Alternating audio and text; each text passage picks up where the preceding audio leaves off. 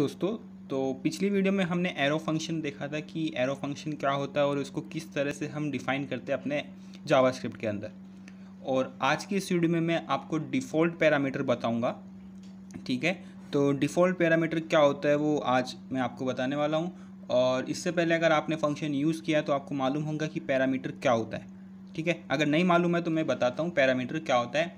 तो सबसे पहले मैं यहाँ पर स्क्रिप्ट स्क्रिप्ट टैग लिखता हूँ। तो स्क्रिप्ट टैग के अंदर हम अपना जेएस का कोड लिखेंगे। तो सबसे पहले मैं एक फ़ंक्शन बनाता हूँ, ठीक है? फ़ंक्शन का नाम दे देता हूँ डिफ़ॉल्ट पैरा ठीक है? डिफ़ॉल्ट पैरा मैंने इस फ़ंक्शन का नाम दिया और यहाँ पर पैरेंथेसिस ओपन और क्लोज किया और उसके बाद कर्ली ब्रेसेस इतना क्लियर हो गया? अभी जो भी हम यहाँ पर, ये ये आप देख रहे हो, ये ब्रैकेट देख रहे हो? जो भी हम यहाँ पर पास करते हैं, उसको बोलते हैं पैरामीटर क्या बोलते हैं? पैरामीटर और अगर हम इस पैरामीटर को पहले से कोई वैल्यू दे देते हैं तो वो होता है डिफ़ॉल्ट पैरामीटर। मैंने क्या बोला? अगर यहाँ पर मैंने ए कोमा बी पास किया तो ये हमारा है पैरामीटर, ठीक है? अगर मैं इस पैरामीटर को वैल्यू दे देता हूँ three equals to three three मैंने वैल्यू दे दी तो ये हो गया डिफ़ॉल्ट पैरामीटर। अब ये किस तरह से यूज़ में आएँगे, वो मैं आपको आगे बताऊँगा। तो पहले मैं आपको नॉर्मल पैरामीटर की मदद से बताता हूँ, ठीक है? जैसे कि मैंने फ़ंक्शन बनाया डिफ़ॉल्ट पैरा और उसको मैंने पैरामीटर दिया है ए कोमा बी अब ये फ़ंक्शन बनाया मैंने तो ये कुछ रिटर्न भी करेगा, ठीक है? रिटर्न क्या करवाऊँ? मैं इससे एडिशन करवा लेता हूँ, ठीक है? तो ए और प्लस बी चाहिए मुझे, ठीक है? इसको अच्छे से सेंटेक्स कर लेता हूँ मैं। मुझे ए प्लस बी चाहिए। अभी मैं इस फ़ंक्शन को कॉल करूँगा। तो मैं हम कंसोल में कॉल करता हूँ मैं। कंसोल डॉट लॉग फ़ंक्शन का नाम क्या हमारा? डिफ़ॉल्ट पैरा, क्या चाहिए हमें? एडिशन चाहिए, किसी भी दो नंबर का। तो मैं दो और तीन करता हूँ, पाँच आना चाहिए, ठीक है?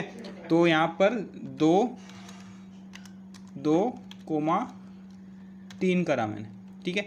और इसको सेमिकोलन और कंट्रोल एस से। तो आप देख सकते हो राइट साइड में मेरे को आउटपुट आया पाँच, ठीक है? कैसे आया पाँच? क्योंकि मैंने यहाँ पर रिटर्न क्या किया है? ए प्लस बी एडिशन ठीक है? ए और बी के अंदर क्या होना चाहिए? एडिशन होना चाहिए। ठीक है? और ये जो ए और बी है, मैंने यहाँ पर डिफ़ॉल्ट यहाँ पर ये जो पैरामीटर यहाँ पर पास किया है।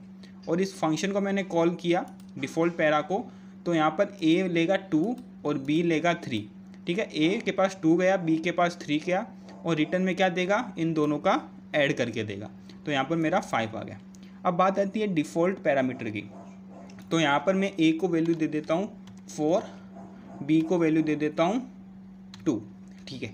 अभी क्या होगा देखिए सपोज़ मैं यहाँ पर थ्री को हटा देता हूँ, ठीक है।